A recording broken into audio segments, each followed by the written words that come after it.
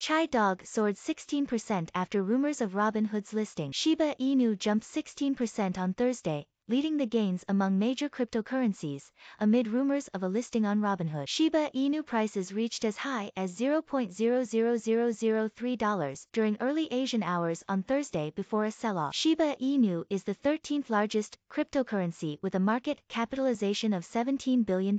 Price charts suggest the move followed a bounce from resistance turn support levels of $0.000027. However, the tokens remains in a broader downtrend, as prices have dropped 62% since reaching all-time highs of $0.00008 in October 2021. The price bump came shortly after rumors of a listing on Robinhood did the rounds on Twitter. Shiba Inu Robinhood listing said to come as early as February. A tweet by business news handle Zero Hedge read, Robinhood did not return requests for comment. Robinhood CEO Vlad Tenev previously denied plans for listing Shiba Inu on the influential stock trading application in October 2021. It goes back to safety first, right? So we're not generally going to be the first to add any new asset. We want to make sure that it goes through a stringent set of criteria, he said in an interview with CNBC. Additionally, Shiba Inu was listed on Bitso, one of Mexico's largest crypto exchanges, by trading volume. However, the announcement did little to affect prices, trading data showed. The bump in Shiba Inu saw other memecoins, such as Dogecoin,